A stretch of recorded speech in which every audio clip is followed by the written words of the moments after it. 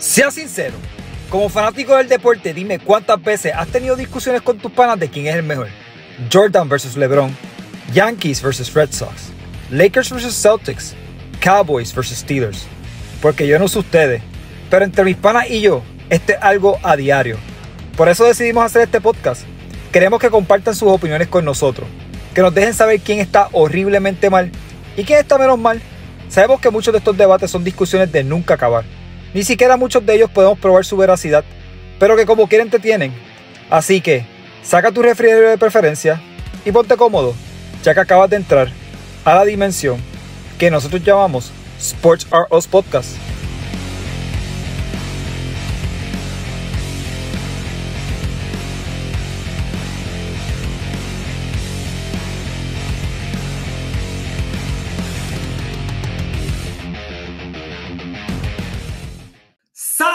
Mi gente, buenos días, buenas tardes, buenas noches, dependiendo del momento del día que estás viendo esta grabación. Bienvenidos al episodio 189 de la dimensión que nosotros llamamos Sports Are Us Podcast. Mi nombre es Charlie y conmigo para el episodio de hoy se encuentra Ángel Martínez y Omar Cabrera. Les recuerdo que pueden suscribirse a nuestro podcast a través de las plataformas de Apple Podcast, Spotify, Stitcher, iHeartRadio y Speaker. También puedes conseguir nuestro contenido Facebook, Instagram, TikTok y en nuestro canal de YouTube. En el día de hoy vamos a estar hablando de la NFL. Hemos estado hablando de la NFL, la semana pasada estuvimos hablando de la NFL. A nivel de la selección de los juegos, estuvimos ahí más o menos. Hablaremos un poquito más, más adelante de eso. Pero bueno, en fin, vamos a continuar hablando de eso. Han habido un sinnúmero de resultados sorpresivos, ha habido un sinnúmero de toma de decisiones sorpresivas. Y tenemos que hablar de todo eso. Pero también hay que hablar un poco de la NBA. Y vamos a comenzar hablando de la NBA.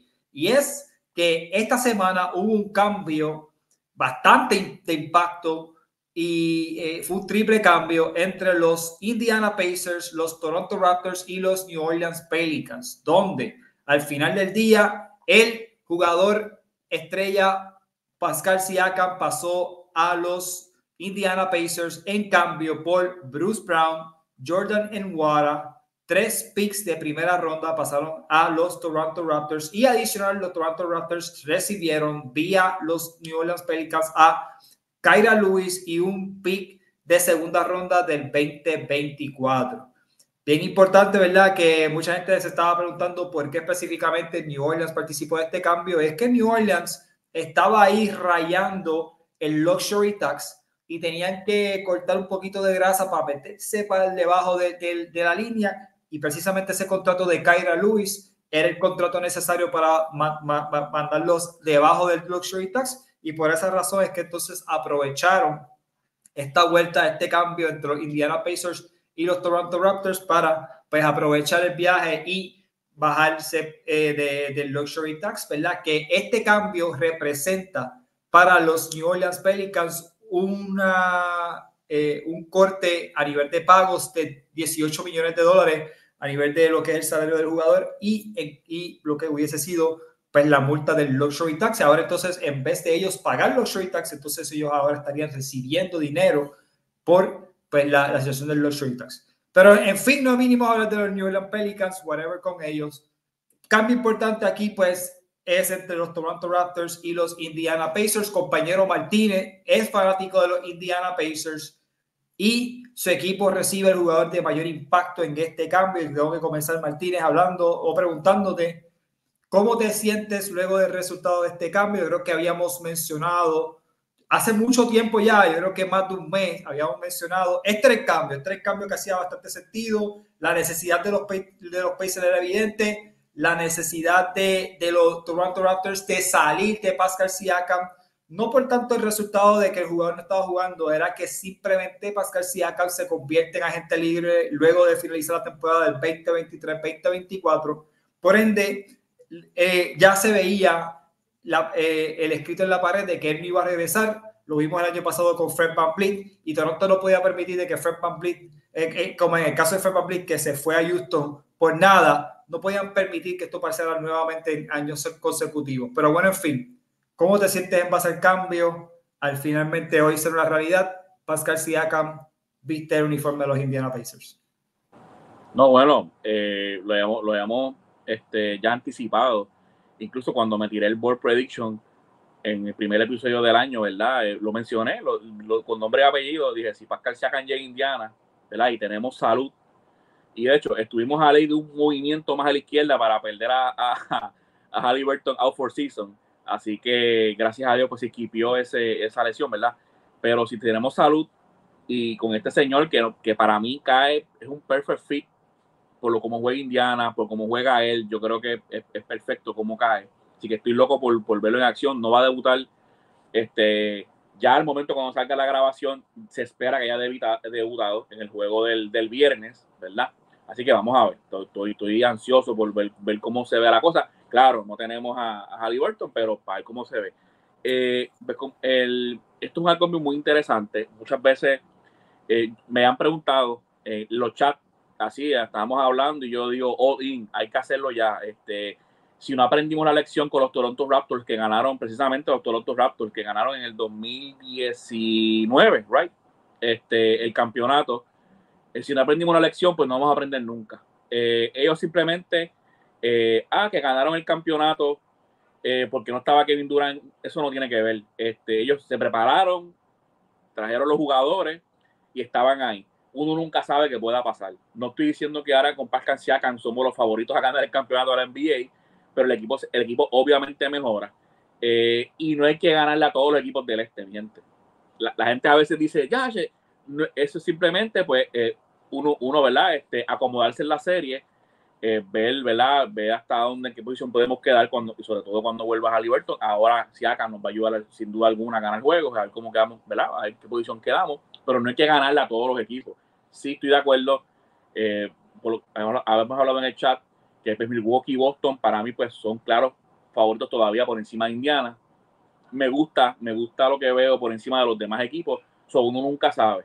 Este, yo no le deseo nunca una lesión a nadie jamás, pero eh, yo he visto a Yanni salir de series de playoff lesionado. Hemos visto a Kevin Durant que le suceda lo mismo.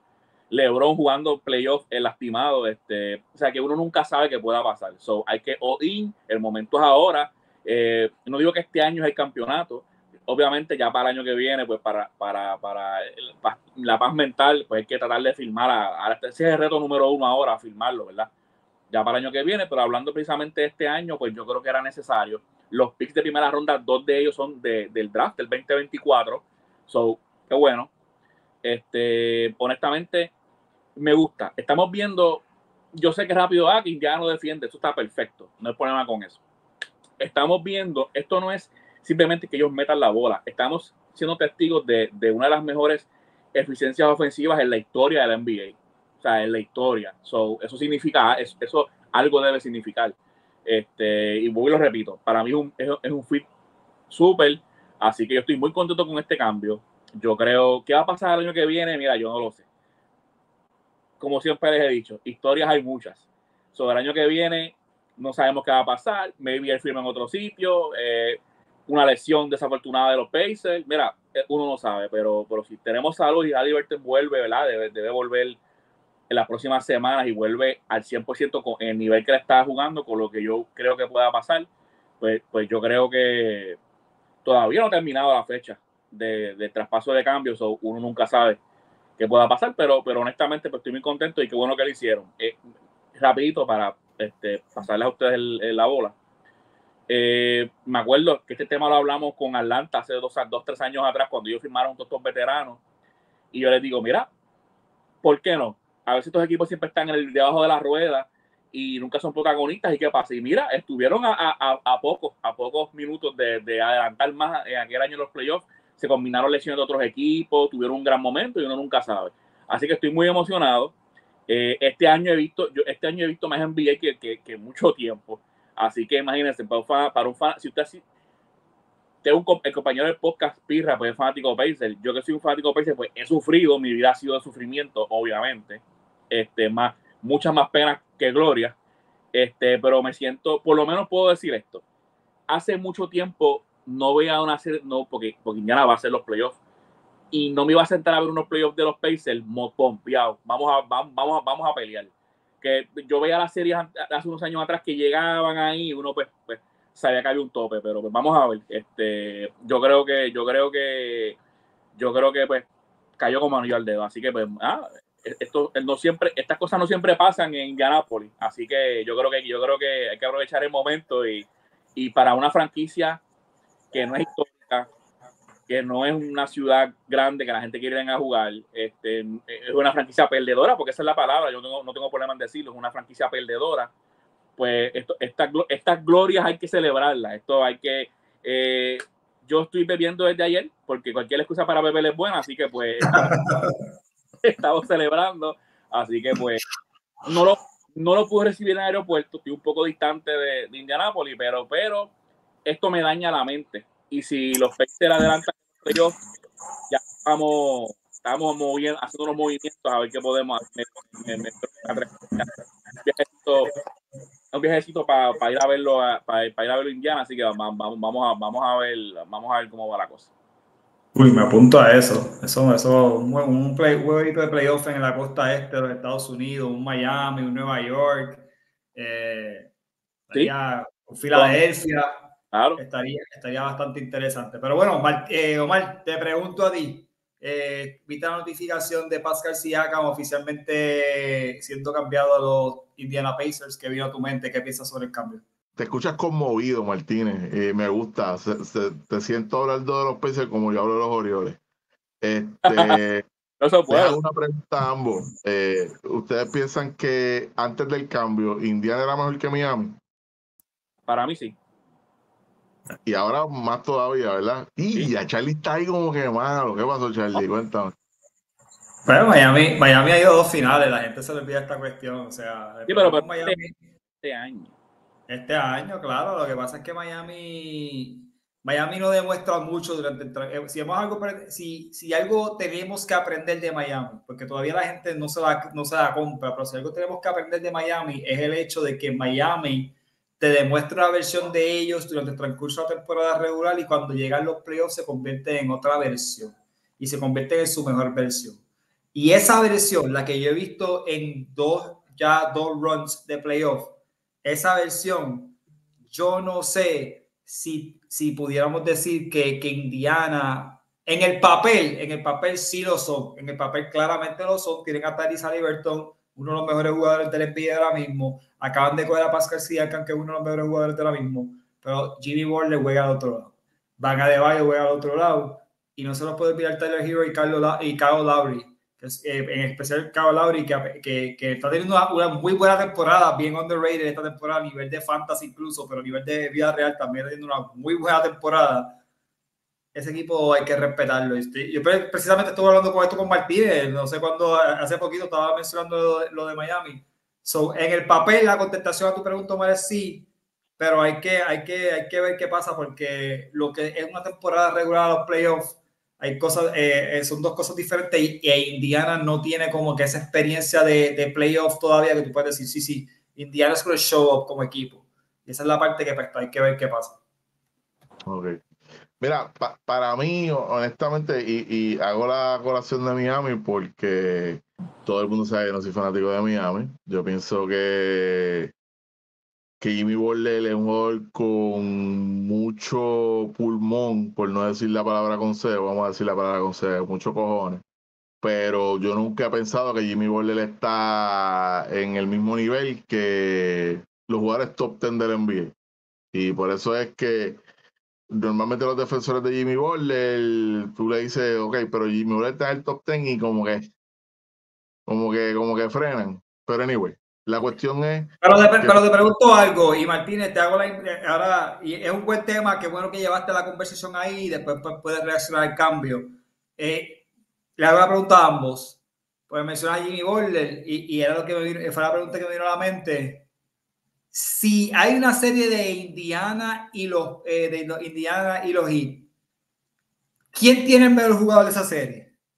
Indiana, Indiana eh, con Tyrese Halliburton que tiene el mejor jugador de esa serie. Pudiéramos decir con certeza que sea el mejor jugador de la serie. Yo sí. yo no soy fanático de Indiana. Pero, no puedo algo. Pero, antes de que Martínez hable. Sí, sí. Y normalmente, y esto lo hemos dicho por años aquí en el podcast, eh, los normalmente las series de NBA las gana el equipo con el mejor jugador. Normalmente es así. Ustedes pueden buscarle lo que ustedes quieran, etcétera. El problema de Indiana es que no galdean. Y entonces yo sé que Ángel va a decir, no, pero ya mismo van a decir que no guardean. Pero Indiana ha perdido juegos que ha metido 130 puntos. ¿Entiendes? y, y, y entonces ahí ya yo no te puedo ayudar, porque, o sea, por lo menos, por lo menos un, tipo de esfuerzo en defensa tienen que poner. Eh, y, y, por eso es que yo no pienso que Indiana, por más que a mí no me guste Miami, por más que yo hable de Jimmy Butler, esta versión de Indiana no la he visto con Pascal Siakam. Sabrá Dios cuánto Pascal Siakam este, nivela, eh, ayuda a que ellos levanten el nivel defensivo, como como pasó con Anubi cuando lo cambiaron. Pero, eh, mano, eh, yo sé que Indiana tiene el mejor jugador, pero yo no creo que, que le ganen a Miami, porque Miami va a hacer el juego bien lento, esto no va a galdear y... Pero no, eso sin ver a Siakam. Y para reaccionar lo de Siakam rapidito, si eh, Indiana logra extender ganaron el cambio por un montón, porque independiente de que sean tres picks de primera ronda, aunque Toronto, pues obviamente eso es lo que está buscando. Pero la cuestión aquí es extenderlo. Indiana se le hace bien difícil atraer a la gente libre. Aunque si hagan, pues, tú sabes, no es, no es un jugador top. Yo entiendo que no es top 15 en la liga, pero es mucho más jugador de lo que probablemente ellos van a poder atraer en agencia libre. Si ellos logran extenderlo, pues una pieza más hacia un prospectivo campeonato. Ya después, eh, si, si no va a ser el segundo mejor jugador de ese equipo, pues ya aparecerá. Si es que Indiana no lo tiene ya y el tipo se desarrolle a, hacer eso. Eh, pero aquí para mí la clave del cambio al final del día va a ser que lo extiendan, porque si Siakam al final del año se va a otro equipo, perdiste el jugador, perdiste tres picks de primera ronda en un equipo en reconstrucción, pues es un golpe devastador. Gracias, Omar. Martín, iba a decir algo en referente a la situación con, con Jimmy Butler y la, no, Cuando Omar mencionó lo del top 10, eh, empecé rápido a anotar en mi, en mi libreta y yo dije, contra, y es verdad, Jimmy Butler no es top 10. conseguí, conseguí 10 nombres. Así que, y, y, y no terminé. ¿No era top 10 hace tres años atrás? No, claro que no, porque. Pero nada, ese no es el tema. Este, este, muy interesante. To, la defensa siempre va a ser el tema siempre que alguien le va a tirar el punch a Indiana, la defensa va a ser el tema, no es para menos, es la, la casi la peor defensa de la, de la, de la, de la NBA. So, pero pues eso es parte de cómo juega. Indiana juega así. O sea, ellos juegan rápido para que tú no los defiendas. Han perdido juegos metiendo 130 puntos. claro, me gusta algo, algo, voy a decir algo rápido. Me gusta que aunque no es lo mismo, pero ya vivieron un poco la experiencia de lo que es una final y, y parecían juegos de playoff y había atmósfera de playoffs. O quizás ellos ya cogieron la experiencia y si ya un jugador que ganó una final de la NBA, ya, ya este núcleo que está en Indiana ya, que se quedó en Indiana, este, pues supo más o menos una... Yo, yo sé que no es lo mismo, ojo, pero ya quizás saben lo, lo, lo, que le faltaba y, los Lakers no desmantelaron en la pintura, no, no, nos daban y no había quien. Y Pascal Siakam me gusta que él, es, él, no, él no se deja, él cocotea. Y, y, eso a mí me gusta de ese jugador. Aparte que él pasa la bola súper bien, todo, todo, todo luce, pero, pero obviamente la defensa siempre va a ser, siempre va a estar ahí. Y esa es la parte negativa que en playoff usualmente sí se defiende más y, y, y, pues las, las, cosas no son igual que en temporada regular, pero, pero, pero vamos a ver, vamos a ver cuando este núcleo juegue, que estén todos, va a ser interesante. Sí, a mí me gusta el cambio para Indiana, era el cambio, lo llevaba, lo llevaba diciendo, el cambio que había que hacer. Estamos hablando de un Pascal Siakam que, que al momento eh, eh, está ¿verdad? E, e, en la conversación para otro posible All-Star Game, pero mínimo, mínimo. Indiana está adquiriendo un jugador que está promediando 22 puntos por juego, 5 asistencias, 6 rebotes. Es un jugador de impacto, es un jugador de impacto y, y, y es un jugador largo, que defensivamente pues mínimo va a ocupar espacio. Y obviamente me pues, estás haciendo un upgrade, porque ellos, ellos trajeron a Obi Topping de Nueva York, que Obi Topping no ha sido lo que se esperaba de él. Yo pienso que Obi Topping no es que no pueda jugar en Indiana porque pues, ha, ha, tenido destellos de ser un buen jugador, pero no puede ser tu jugador 4 regular. Ahora tú vas a Obi Topping a venir del banco y entonces la dinámica cambia porque entonces ahora tú tienes un equipo de Indiana que, que tiene un personal, sea, tienen obviamente a Talisa Liberton, tienen a Body Hill, tienen a Isaiah Jackson, tienen a, a, Benedict, a Benedict Mathurin, siguen teniendo a TJ McConnell, tienen a Andrew Nemhart, que para mí es uno de los jugadores más underrated en ese equipo. Mucha gente habla de otros jugadores, pero ese jugador es súper underrated. Aaron Neesmith, que pues, va a tener que ponerse los Big Boy Pants porque Aaron Nismet va a tener que eh, llenar los zapatos de Bruce Brown. So, vamos a ver si él puede llenar eso, esa, esa, ese rol. Obviamente Pascal Siakam, Jalen Smith y, y, el, y el Obi. So, tiene un buen equipo. Ah, y Miles Turner que se me olvidó, ¿verdad? Y pues obviamente ellos draftearon en este año a, a Jared Walker, que pues estaba ahí, eh, no está tanto en la rotación, pero bueno, en fin, tiene un equipo bien sólido. Va a ser interesante ver qué pasa con Body Hill. Body Hill está en el mercado de cambio actualmente y es un jugador que posiblemente pudiera ser cambiado. Y ahí pues no sé, ¿verdad? No, no puedo visualizar el momento que, que jugador eh, lo pudieran cambiar. Eh, el, único equipo que a mí honestamente me hace un poquito de sentido Body Hill es Detroit o Orlando.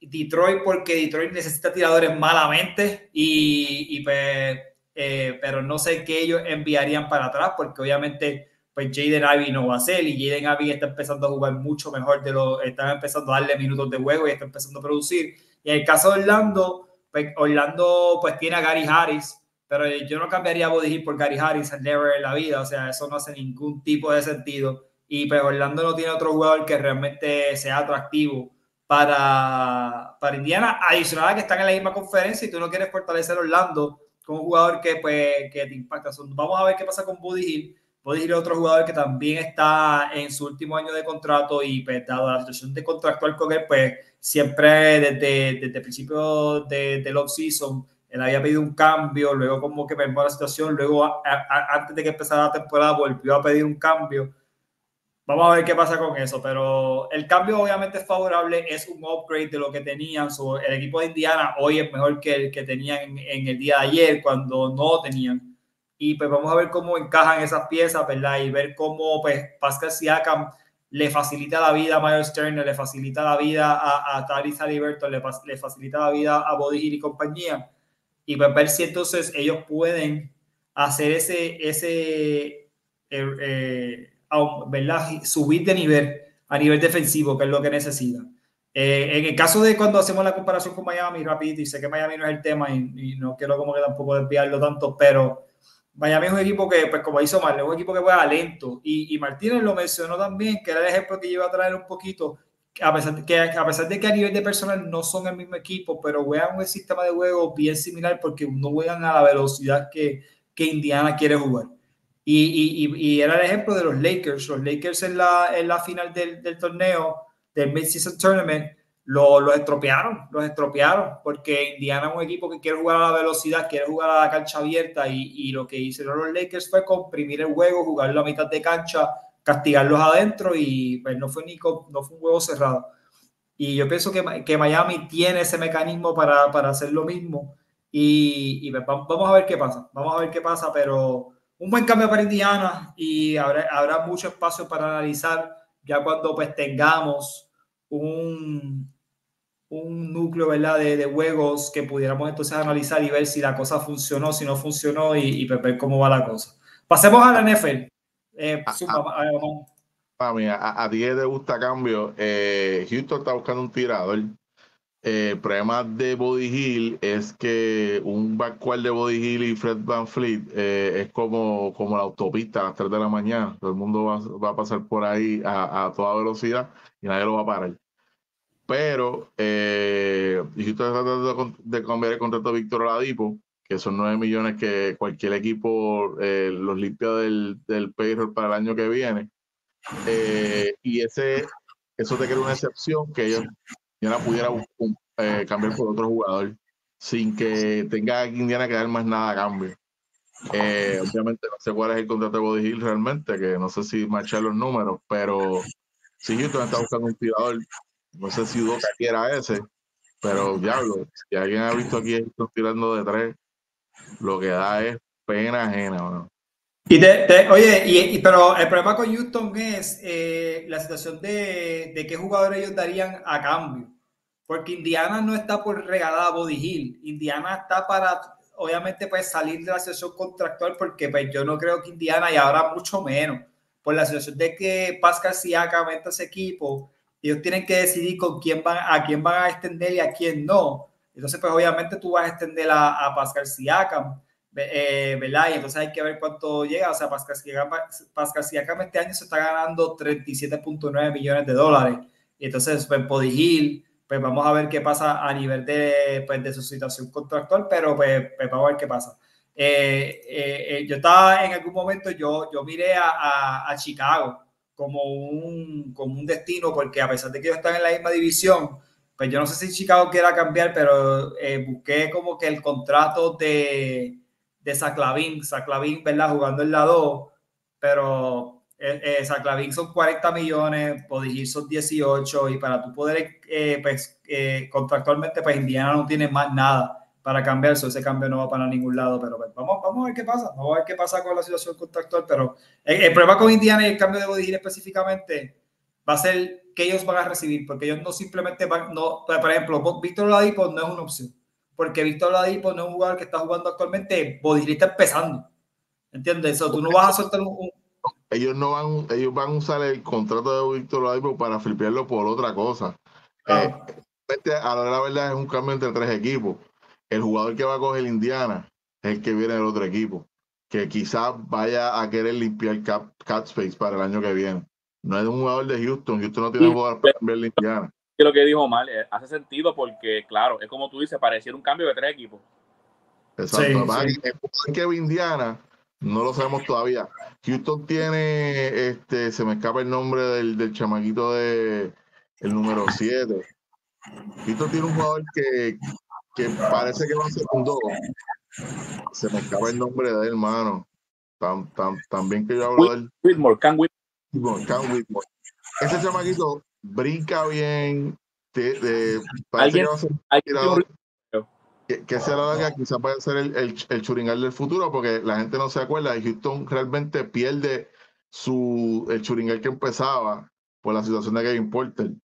Este, y eso nos creó un hoyo tan y tan brutal en, en el perímetro, porque Jalen Green no puede meter dos canastos de tres corridos, que realmente Houston está buscando un tiro desde el principio de temporada. Pero en el escenario que yo estoy poniendo, el jugador que va a Indiana no sabemos todavía quién sería.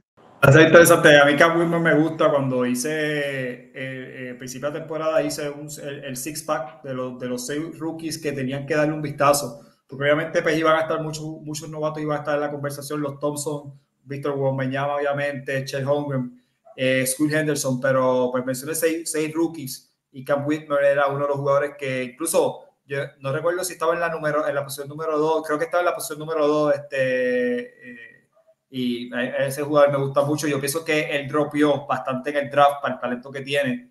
So, va, va, a ser interesante ver si se puede desarrollar en YouTube y, y, ver qué pasa con él. Pero bueno, pasemos al NFL. Ahí vamos a empezar rápidamente hablando de los resultados de la, del Super Wild Card Weekend.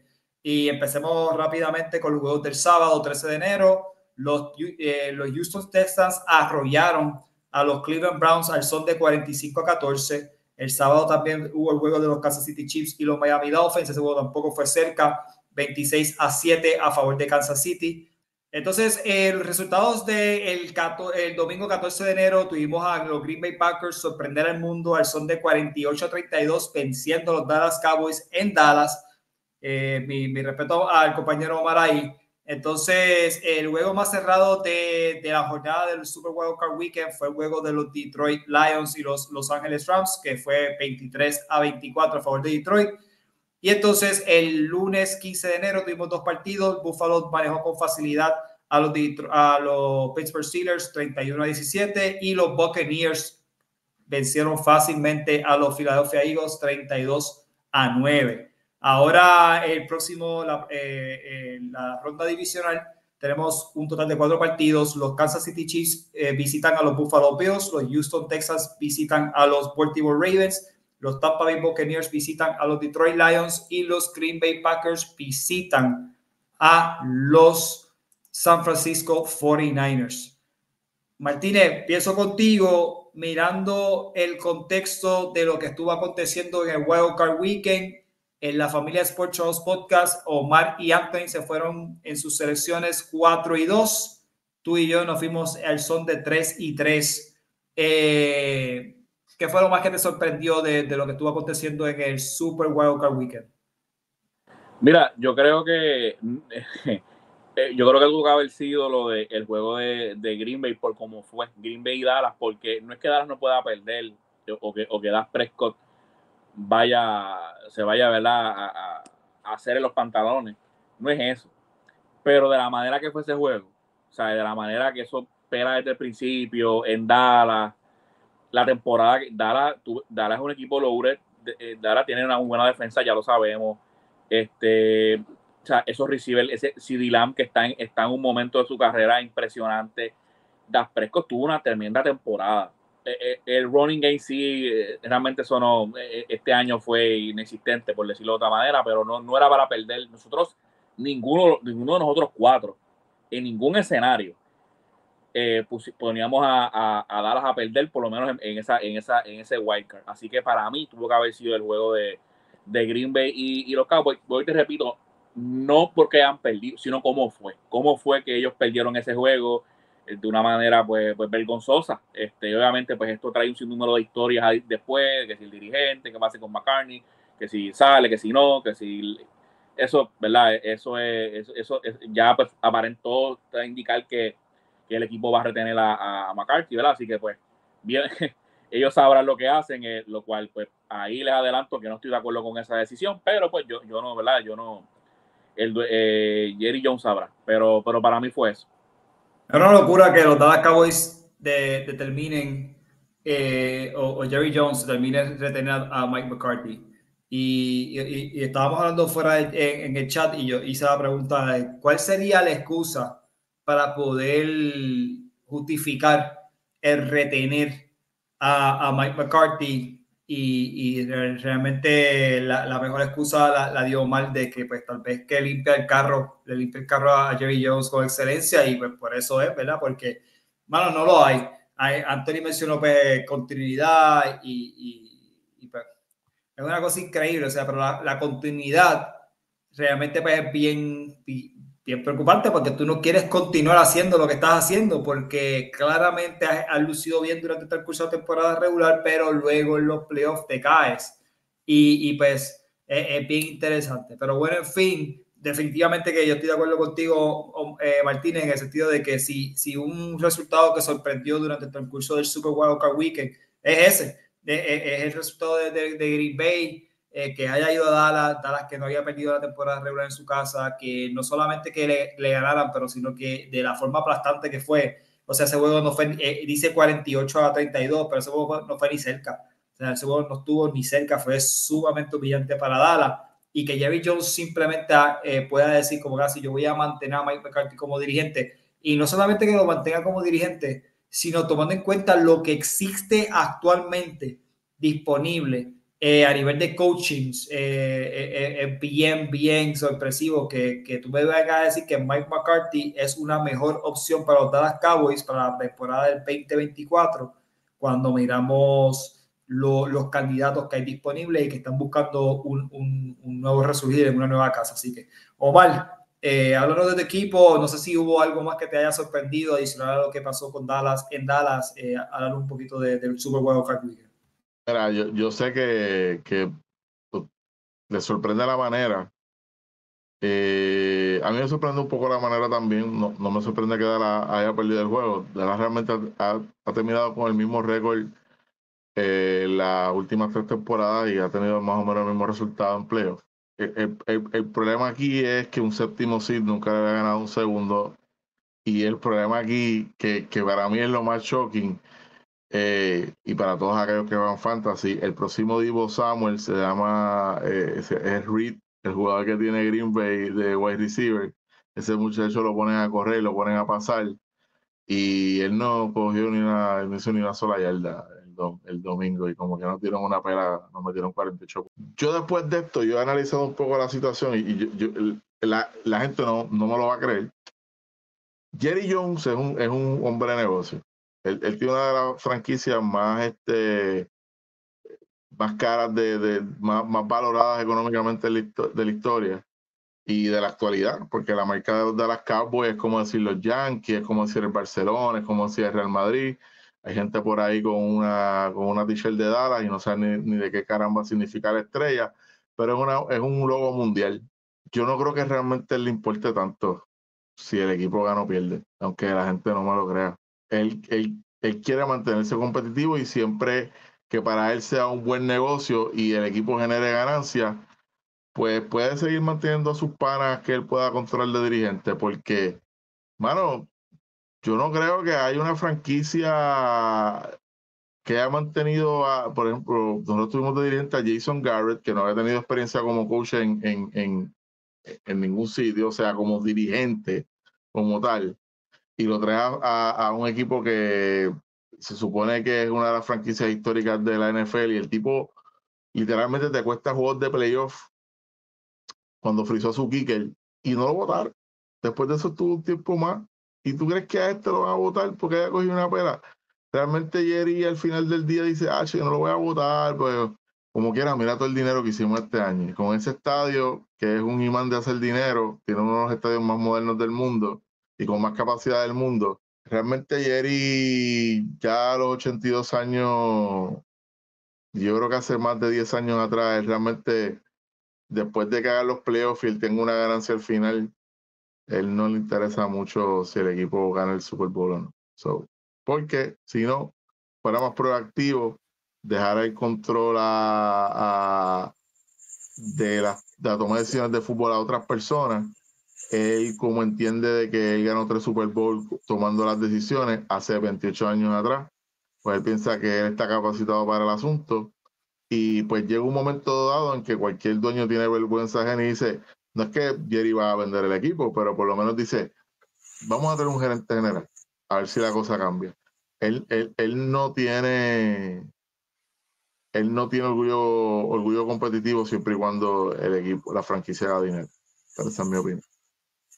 Ah, y en cuanto a algo que más me dolió, claro, fueron los Rams. Este, tuvieron 30 veces la oportunidad para, para poder ganarse jugar al final. Yo, yo pensaba que los Rams tenían una oportunidad real de, de ir al Super Bowl y bueno, perdieron, con, perdieron por un puntito.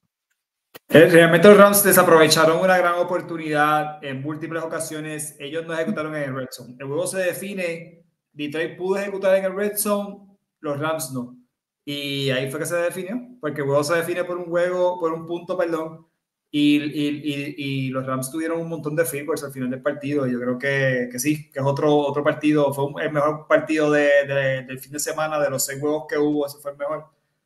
Y definitivamente que, que está brutal. Y by the way, la, eh, yo creo que la NFL eh, no, no, no, fue planificado, ¿verdad? Porque hubo un cambio en el schedule por la situación de Buffalo y, el clima en Buffalo. Pero el, hecho de que el sábado hayan dos juegos, domingo dos juegos y el lunes dos juegos, eso estuvo, no sé, cómo algo que pudiera, eh, pudieran analizar para, para, un futuro. Pero bueno, pasemos entonces a, a, lo que va a estar pasando en, los juegos divisionales. Ya mencioné los macheos, son cuatro macheos en particular. Y comencemos con el primero de, del sábado 20 de enero. Y es el partido entre los Houston Texans y los Baltimore Ravens. Omar, ¿a quién tiene que ganar en este partido? Bueno, tú no sabes cuánto me gustaría decir que los Texans. Simplemente para para fastidiar a un pana del chat. Pero no, hay que, hay que ser responsable y los Ravens deben de, de ganar el juego, especialmente el juego siendo en Baltimore, pero yo entiendo que a ustedes se le van a hacer a pasar un buen susto, pero los Ravens deben de prevalecer. Martínez, ¿de acuerdo o en desacuerdo con el compañero Omar en base a su selección de, de eh, Texans y Ravens? Sí, va a ganar Baltimore. Este, yo, yo lo que lo que quiero es que, que, no, que nos regalen un buen juego. Que, que, que no se dejen, ¿verdad? No, no, no, simplemente digan, wow, ganamos Wild Card, llegamos lo más, eh, ya cumplimos por más, por demás de, de, lo que teníamos que hacer, así que no, que es un buen juego, pero yo creo que al final la defensa de Baltimore va a ser la clave. La Jackson también está en, en tremenda temporada, ¿verdad? Eh, eh, y siempre con un kicker como ese, en juegos de playoff eso es una ventaja, independientemente. El de los Texas no es malo, pero obviamente. Pero pues eh, estoy con Baltimore ahí. Muy bien, sí, ahí me tengo que ir con ustedes. Eh, yo creo que es una línea. Eh, Baltimore ha sido el mejor equipo de la temporada regular. el único equipo que se le ha aproximado a nivel de victorias y derrotas es, San Francisco, pero en el head to head, Baltimore manejó con facilidad a San Francisco, por ende, es bien difícil tú decir que, que Baltimore no ha sido el mejor equipo de la temporada regular.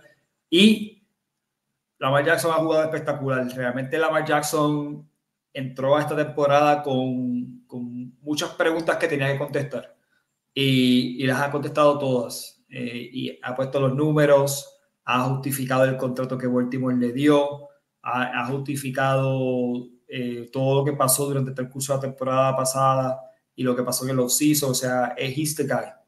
Ahora hay que demostrarlo en la, en la postemporada.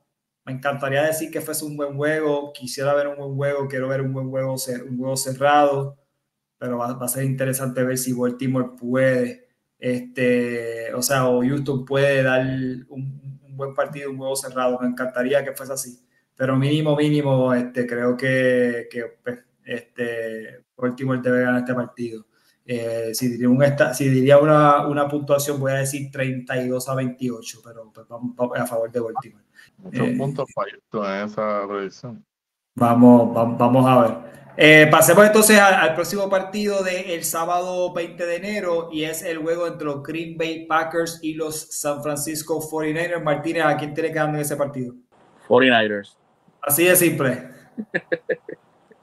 es difícil. Es, es, es, difícil, ¿verdad? Visualizar que, que Green Bay con esa juventud pueda ir a San Francisco y ganarle a, a San Francisco. Estoy de acuerdo contigo. Con... Si eso pasara, oh, cómo sería gracioso. Eh, pero, pero no va a ser, pero no, no va a ser gracioso para Green Bay el, el, el sábado. sí, este, eh, Omar, ¿de acuerdo o desacuerdo? San Francisco, es una línea. San Francisco debe ganar, obviamente, pero nadie pensaba que, que ellos iban a ir a Dallas y iban a ganar hace 48 puntos. Maybe van a San Francisco y hacen 28 y con eso les da. Pero este, la realidad es que. Tíralo, tíralo. Estás loco por tirar. No, no, no. Eh, Dallas tuvo problemas, muchos problemas con, con Aaron Jones y eso fue lo que realmente eh, set the tone, como dicen los americanos, para, para el juego que tuvo Green Bay. Dallas no sabía si cerrarla a, a Jones o, o, o, o, desplegarse para que no le, los mataran por el aire. Eh, yo no creo que Jones vaya a tener ese juego contra San Francisco. Este, pero, pero nuevamente, al igual que el de los Texans y los Ravens, eh, este pienso que, que, pudiera ser más cerrado que ese de los Texans y los Ravens. Porque la, lo bueno que Green Bay es que Green Bay está jugando con chavos del banco. So, este, sí, estoy de acuerdo. No, no, no tiene nada que perder. Y estoy de acuerdo. Tampoco, pero Green Bay es un equipo más completo. So, Vamos a ver qué pasa. Entonces, pasemos a los partidos del 21 de enero y empecemos con el juego. A mí me intriga este juego un montón. Me intriga un montón este juego. Tampa Bay Buccaneers, Detroit Lions. Omar, ¿a quién tiene que ganar en este partido y por qué? Tampa. Este. Yo no. Yo sé que que Jared Goff ha tenido una tremenda temporada, pero a veces él desaparece por momentos y nuevamente Tampa juega duro y no tiene nada que perder. Yo creo que Detroit, pues al ganar la división después de tanto tiempo y eh, ganar un juego de playoffs después de tanto tiempo, pues tiene muchas expectativas y esos equipos no están tan lejos uno del otro y yo creo que Tampa debe meter tablazo. Martínez, ¿de acuerdo en desacuerdo? ¿Quién tiene que ganar ese partido? Estamos ante dos equipos que eh, permiten muchas yardas por aire.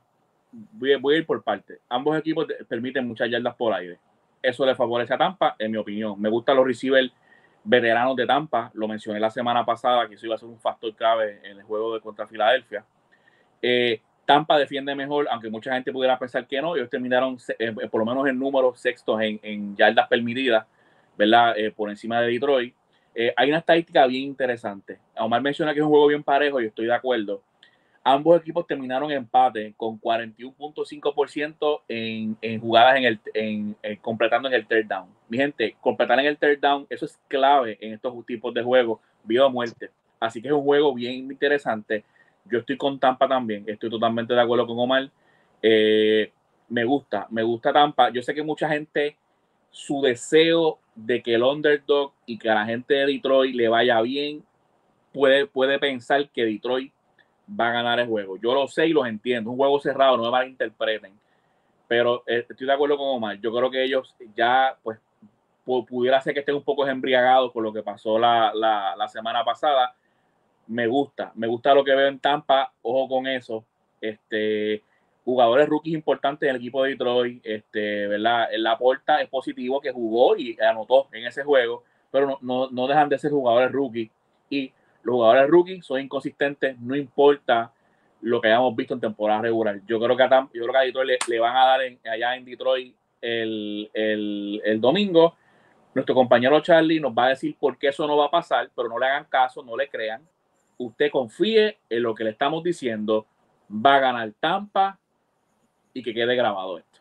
La, gente no Tampa, esa es la única razón por la que la gente no respeta a Tampa y él tuvo tremenda temporada, y lo, pero pues, como el Baker Mayfield eh, fue un pick eh, alto del draft, entonces yo creo que fue el primer pick del draft y no funciona en Cleveland, pues ya la gente ahí le pone el sello. Eh, pero es un peligro, este chamaco no juega mal. No. Este, mira, pues yo pienso que, que, la, que yo pienso que para, para, el caso de Detroit la cosa se ha alineado, la cosa se ha alineado para ellos. Juegan en su casa, eh, es un juego que pues mucha gente pensaba que iba a ser eh, eh, iba a ser complicado sobrepasar la, la, la, montaña que eran los Rams, pues la veteranía, más Matthew Stafford, cómo los Rams venían jugando, sobrepasaron eso. No fue el juego que mejor ejecutaron y aún así pudieron sobrepasar esa, esa línea. El hecho de que Sam Laporta haya jugado eso es positivo. Yo pienso que Tampa lució, eh, lució bien contra Filadelfia, pero Filadelfia es un equipo que ha estado, eh, se desintegró en la recta final de la temporada, simplemente se desintegraron y no fueron en nada los últimos ocho juegos, eh, en nada de lo que pudieron, lo que demostraron en la primera mitad de la temporada. So, lucieron imponentes, pero hay que tomar dos factores y no nos podemos embriagar con el éxito que tuvo Tampa en ese partido y a pesar de que Tampa, no solamente en ese partido, Tampa ha, jugado sólido en la recta final de la temporada, las últimas cinco semanas de Tampa han sido sólidas, las últimas cinco semanas de Baker Mayfield han sido sumamente sólidas, pero muchos de esos juegos han sido en su casa. Juegan en la carretera, juegan en un juego con techo. Eso va a ser interesante ver, ¿verdad? Y eso pues también le en cierto punto le favorece a, Tampa porque no tienen que jugar en, en, un ambiente eh, frío como hubiese sido Detroit afuera o hubiese Kansas City, un Buffalo, que tú tienes que jugar con ese ambiente porque Baker Mayfield no necesariamente tiene el brazo más potente de la liga. Eh, pero aún así yo pienso que Detroit le va a ganar. Yo creo que va a ser un buen juego, va a ser un juego cerrado, pero yo, yo, pienso que Detroit eventualmente va a sobrepasarse. Eh, y yo creo que el factor de, del parque local va, a influir mucho. Me podría estar equivocando, pero Omar dice no mucha gente respeta a Baker Mayfield y estoy completamente de acuerdo contigo. Yo pienso que mucha gente pasa por desapercibido a Baker Mayfield, pero de igual manera lo hacen con Jared Goff. Y lo que Jared Goff hizo en el pasado partido eh, es bien impresionante, tomando en cuenta que jugó contra el equipo que lo, lo, lo descartó por lo draftea número uno, pero él lo lleva un Super Bowl. Lo descartan por completo, lo tiran a a Detroit y lo que Jared Goff hizo el pasado domingo, el pasado fin de semana, fue sumamente impresionante y my, my, my props to him. Y yo pienso que, que, el hecho de que Detroit te puede ganar de diferentes facetas, tanto en la carrera como en, la, en el aire, yo pienso que, que va, va, a ser bastante interesante. Pero bueno, vamos a ver qué pasa. Entonces, pasemos al último partido y me intriga mucho saber cómo ustedes piensan, qué piensan de este partido. Pero bueno, en fin, empiezo con Martínez. Martínez, eh, el juego de los Kansas City Chiefs y los Buffalo Bills, ¿a quién tienes ganando? Y explicar un poquito de tu perspectiva del mismo. Eh, óyeme, yo creo que por lo que estamos viendo, los juegos del domingo yo creo que sobrepasan los juegos del sábado, este, la, ese juego del domingo. Ahí me hicieron una invitación para el sábado que no puedo asistir. Eh, yo soñé que me invitaban el domingo y no el sábado. Así que pues voy a, pues déjame ver si se me da eso. Así que. Se puede, se puede, se puede parar aquí. Es broma, broma. es broma. Este, pero nada. Eh, si Taylor Swift no fuera al juego, yo, yo diría que gana Kansas City. Pero como va a estar en el juego, me que ir con Buffalo. Yo creo que Buffalo es el momento. Eh, ellos, como eh, las palabras no son mías, son palabras de Charlie y le caen ahí al dedo. Ellos aprendieron a ganar al final de la temporada con los ajustes que hicieron, nuevo offensive coordinator. Así que yo creo que estoy con Buffalo. Me, me, me, yo entiendo que Kansas City no está en un buen momento. O sea, ¿verdad? Yo, yo sé que la semana pasada ellos, pues, se limpiaron a Miami bastante, bastante fácil. Pero eh, Kelsey no se ve tan bien. Este, yo sé que era un ambiente frío y demás, dropeando pases, pero la, realmente no, no tuvo una buena temporada, lo que esperamos de él. Así que yo, yo veo este juego, yo veo un dominio de la carrera. Yo sé que ellos tienen a Pacheco, pero yo veo que en overall, eh, incluyendo quarterback y running back, Buffalo va a correr más yardas que rushing yards que el equipo de, de Kansas City. Y yo creo, o sea, a menos, a menos, como ya dije, que no vaya Taylor Swift o que Travis Kelsey tenga este juegazo que, que, ¿verdad? Y que siempre nos ha acostumbrado y, y, pase las 100 yardas, eh, haga dos touchdowns y le haga la, vida imposible al equipo de, de Buffalo. Eh, yo creo que en esta estoy, con, estoy con Buffalo, así que yo creo que, que se aproxima por ahí la semana que viene eh, Buffalo y Baltimore. yo creo que es lo que, lo que se la semana que viene. Un poquito ese. Eh, Omar, eh, háblanos de Buffalo y los Chiefs. ¿A quién tiene ganando? Yo no creo que ese juego sea cerca. Honestamente, uh. yo se va a meter en Buffalo. Josh Allen en su mente y en la mía. Piensa que es el mejor quarterback del NFL y yo creo que lo va a demostrar el domingo. Es una pena eh, las muchas lesiones que ha tenido Buffalo en defensa. Pero, mano, o sea, Kansas City ha sido un asco todo el año. O sea, el, el, en el último juego de la temporada regular, que fue, entiendo que fue el de los Bengals, me puedo equivocar, creo que fue el penúltimo. Al final, finalmente se vio la defensa apretar un poco contra un backup quarterback. Eh, y este juego contra los Dolphins, aún lo mal que jugó Tua, todavía empezando a ser cuarel, los Dolphins estaban en una jugada de, de poder bregar el juego. Cuando Tyreek Hill hizo el touchdown, ahí mucha gente entró en pánico porque Kansas City no ha jugado bien.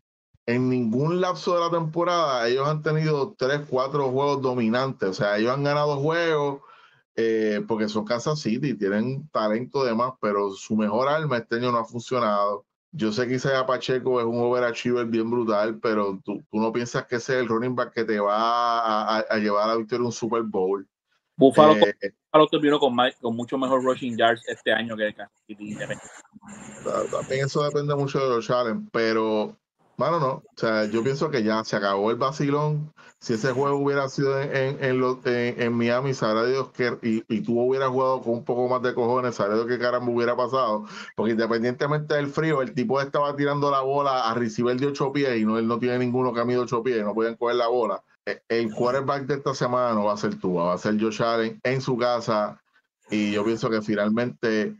Eh, Kansas City va a implosionar como se supone que pase. Ese equipo no ha jugado bien eh, y no ha sido consistente en ninguna faceta del juego. Quizás lo más, lo más consistente que ha tenido este año es Pacheco. Eh, Kansas City no tiene un go-to receiver, por más que la gente hable de Rice. Rice es un rookie. Eh, yo no pienso que el juego va a ser ni cerca. El mejor coreback de esta liga se llama Patrick Mahomes. Que no te quepe, que no te quepe ninguna duda de eso y lo demuestra el domingo. Kansas City le va a ganar a Buffalo en Buffalo y le van a pedir la bendición. Gracias por participar. Juego cerrado.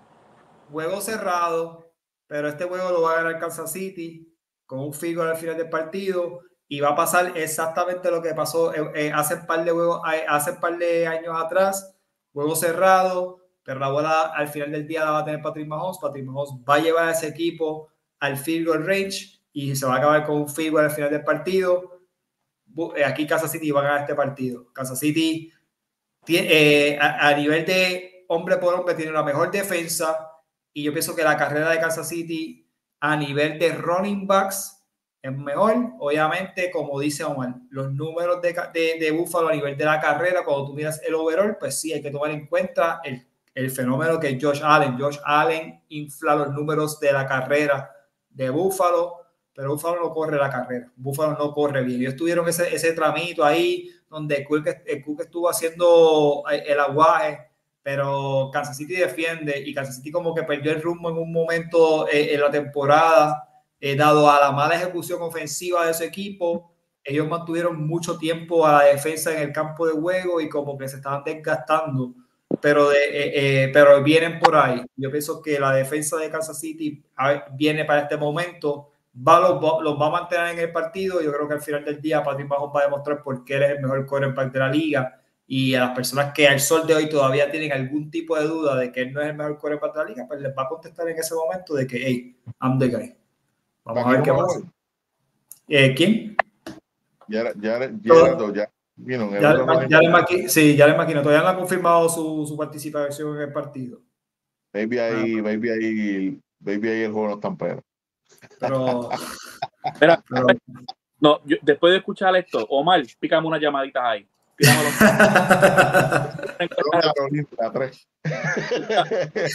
vamos a estar relámpago. No, no, no, no, no, no. a ver, vamos a ver. Bueno, bueno. Eh, eh, el, bueno, bueno, vamos a ver, así me gusta, me gusta esto que estoy escuchando, porque o sea que, o sea que la semana que viene Kansas City y Baltimore tú tienes que ese, ese juego de la semana, ese juego ser, oh, sí, siempre va a ser en Baltimore. No importa quién en Baltimore. Baltimore tiene el, mejor récord de, la NFL. No, no, no, yo, yo no creo que ellos vayan a poder.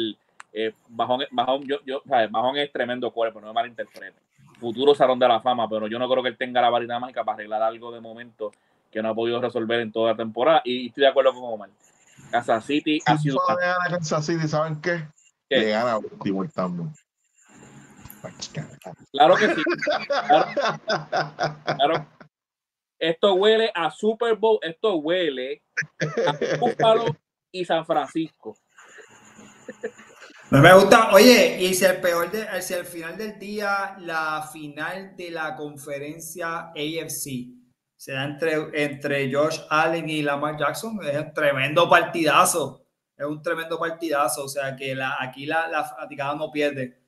Pero, mano, yo no, yo, bueno, eh, yo, yo he vivido toda la temporada fiel a Patrick Mahomes eh, en todos los sentidos, incluyendo fantasy. No, voy a, no voy a bajar, no voy a bajar, no voy a bajar, no voy a bajar. Tienen que, tienen que matarle la raya. Y no lo han matado, no lo han matado todavía, todavía está de pie y ganó, eh, ganó la primera ronda y la ganó cómodo. Al final del día ese juego fue cómodo. So, a ver qué pasa, a ver qué pasa. Pero bueno, antes que termine, yo quiero dejar claro que obviamente yo no me solidarizo con los comentarios de La responsabilidad de él. Yo no, ¿verdad? Yo no, esta no la vi venir honestamente. Yo la, la de Detroit me la imaginaba, porque él está en la agua con Detroit, eh, pero no me lo imagino. Esta no la vi venir, así que pues, está bien. Pero mira, le, voy a decir otra cosa. Eh, esto es un preview del próximo Fantasy Corner en agosto. Yo sé qué jugador Charlie no va a draftear el año que viene. a menos que lo juegue en quinta ronda. Quinta te lo dije la segunda semana y se molestó conmigo en vivo.